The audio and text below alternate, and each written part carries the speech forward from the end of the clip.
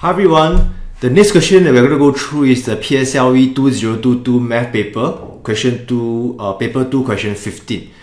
Alright, in this question, uh, Muthu used 4 over 7 of his money to buy 6 pens. He used the rest of his money to buy 4 pens and 3 files. For part A, the question asks, what fraction of his money did Mr. Did Muthu use to buy the 3 files? So let's use uh, the information over here, right, which is 6 pens is 4 over 7. So how to find one pen? To find one pen, you simply take 4 over 7 divided by 6, you get 2 over 21.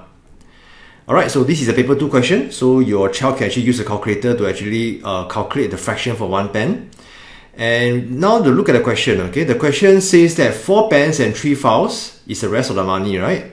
So let's find a fraction for 4 pens. So 4 pens will be 2 over 21 times 4, you get 8 over 21.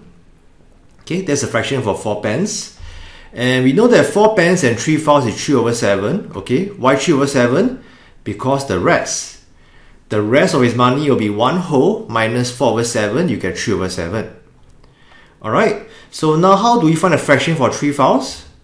Simple, right? To find a fraction for 3 files, you simply take 3 over 7 minus the fraction for the 4 pens, which we found earlier on, correct? So 3 files will be 3 over 7 minus 8 over 21 the answer be 1 over 21.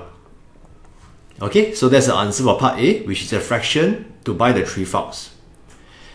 Alright, now for part B, if one file was given for free for every 5 files bought, how many files could Muthu be able to buy if he were to use all his money to buy the files? Okay, so we know that 1 over 21 okay, can buy 3 files. So can we guess, the total money can buy how many files?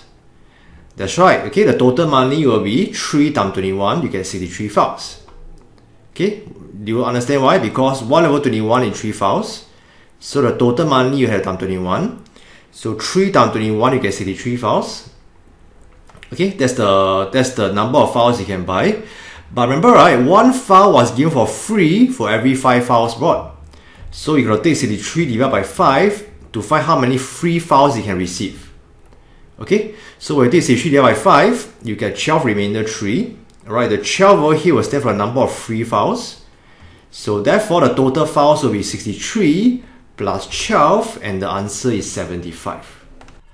I hope that you learned something useful in this video. Now, before you go, do remember to hit the subscribe button and comment under the video on what is your biggest takeaway after watching this lesson. And I look forward to seeing you in my next video.